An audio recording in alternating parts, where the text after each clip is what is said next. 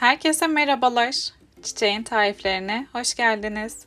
Bugün sizlerle ağızda dağılan helva lezzetinde tahinli kurabiye tarifi hazırlıyoruz. Bu nefis kurabiye tarifine geçmeden kanalıma abone olursanız çok mutlu olurum. Bir tane yumurtanın üzerine bir çay bardağı tahin,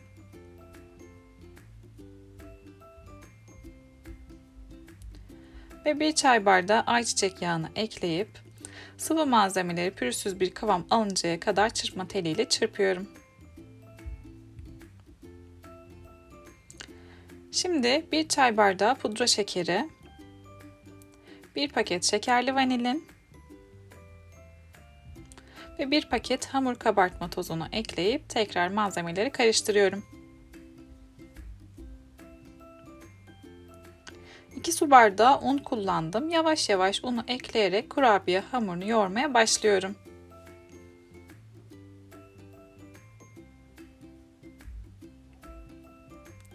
Kalan ununu da ilave edip hamuru güzelce yoğurmaya devam ediyorum. Hazırladığımız bu kurabiye hamuru dağınık bir hamur.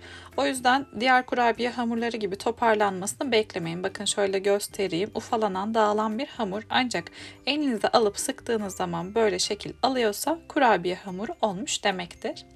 Son olarak içerisine bir çay bardağı ince kıyılmış cevizi de ekleyip güzelce karıştırdıktan sonra tahinli kurabiyenin hamuru artık hazır. Şimdi hazırladığımız bu kurabiye hamurundan avucumun içerisine yeteri kadar alıyorum ve sıkarak yuvarlak şeklini veriyorum.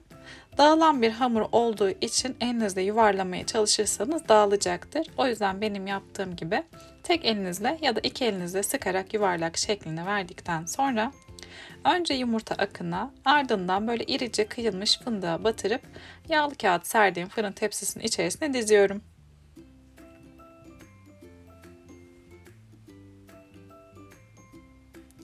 Hazırladığımız tahinli cevizli kurabiyeleri önceden ısıtılmış 160 derecelik fırında yaklaşık 20-25 dakika kontrollü şekilde pişiriyoruz. Kurabiyeleri pişirip fırından çıkardıktan sonra soğuyup oda sıcaklığına gelinceye kadar kesinlikle dokunmuyoruz. Çünkü kıyır kıyır bir hamuru olduğu için sıcakken dokunursanız parçalanacaktır. Oda sıcaklığına geldikten sonra servis edebilirsiniz.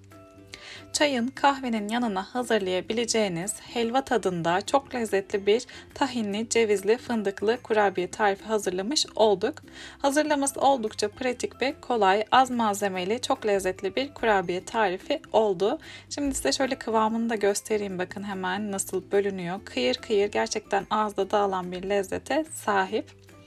Eğer hazırladığım bu tahinli kurabiye tarifini beğendiyseniz videoyu beğenmeyi ve denerseniz denedikten sonraki yorumlarınızı benimle paylaşmayı lütfen unutmayın.